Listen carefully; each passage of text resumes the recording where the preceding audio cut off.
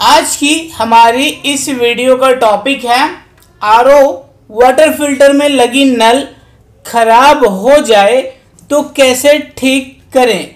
अगर मान लो आप ऐसे जगह पर रहते हैं जहाँ पर आरओ की सर्विस नहीं है या फिर बहुत दूर जाना पड़ेगा, उस कंडीशंस में अगर मान लो आरओ का नल का ये वाला पार्ट जो है टूट जाए या फिर काम नहीं करे तो फिर पानी टंकी से बाहर निकालना मुश्किल हो जाता है। या तो फिर ये खराब होने की वजह से टंकी में पानी रुक ही नहीं रहा है, यहाँ से लीक होकर बह जाता है। इस तरीके की कई सारी प्रॉब्लम्स नल की खराब होने की वजह से आता है। तो इस वीडियो में बताएँगे कि किस तरीके से आप जो है आरओ की ये जो नल होता है उसको रिपेयर कर सकते हैं।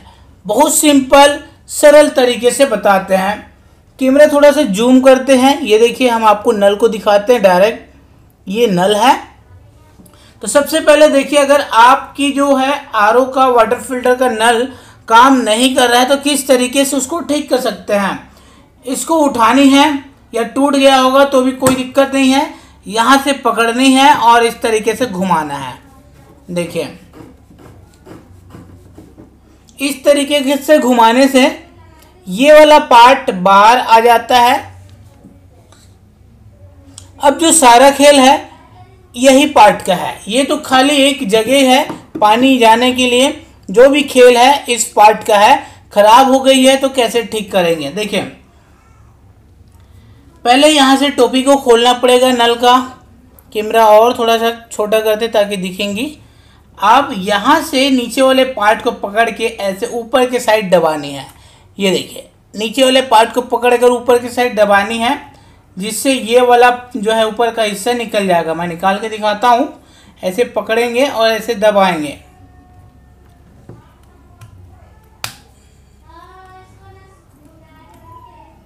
तो ये ये वाला पार्ट निकल जाता है तो उसके बाद यहाँ पर देखते हैं, इसके अंदर सिंपल एक स्प्रिंग लगा होता है। ये। कई बार ऐसा होता है कि नल के लीक होने की वजह से जो है, ये रिपेयर किए थे, इसको हम पहले निकाल देते हैं और यहाँ पर डायरेक्ट समझ में आएँगे। तो कई बार ऐसा होता है, पानी लीक होने की वजह से स्प्रिंग में चले जाती है और स्प्रिंग लोहे की होती है, तार की तो पानी जाने की वजह से ये स्प्रिंग जो है सड़ जाता है।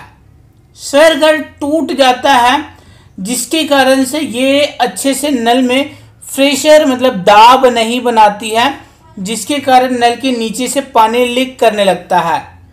या फिर टूट जाने के कारण से हम इस तरीके की जो टोपी होता है उसको बंद चालू नहीं कर सकते हैं। तो सिंपल क्या करेंगे? मान लो आपकी जो घर है या फिर ऑफ़िस है, मार्केट से बहुत दूर में है और वहाँ पर नल की व्यवस्था नहीं हो पा रही है तो किस तरीके से ठीक करेंगे? उसके बारे में बताते हैं। तो ये जो स्प्रिंग देख पा रहे हैं, ये स्प्रिंग लगभग जो मोटरसाइकिल बनाता है मतलब गाड़ी जो बनाती है, मोटर, बाइक बनाता है उनके पास ऐसे ही नहीं, लेकिन सेम टाइप की स्प्रिंग मिल जाती है। तो उनके पास से इस तरीके से स्प्रिंग जो है हार्डवेयर वगैरह में जाके जुगाड़ कर लेनी है। और सिंपल स्प्रिंग को वापस ऐसे ही लगानी है जो आप लाएँगे। दूसरी वाले, उसके बाद ये जो टोपी होता है, उसका टोपी में इस तरीके से लगाना है, ये देखिए। अब क्या करेंगे, इसको ऐसे दबा के रखनी है। तो ये वाला पार्ट उभर जाएगा। उसके बाद देखिए, ये जो टोपी है, इसको चढ़ाएँगे। ये। तो इस तरीके से ये लग जाता है और ये बिल्कुल काम भी करेगा। ये देखिए। फिर इसको सिंपल क्या करना है? इस नल में वापस लगा देनी है। बस इतनी सी ही काम होती है सिंपल एक स्प्रिंग की।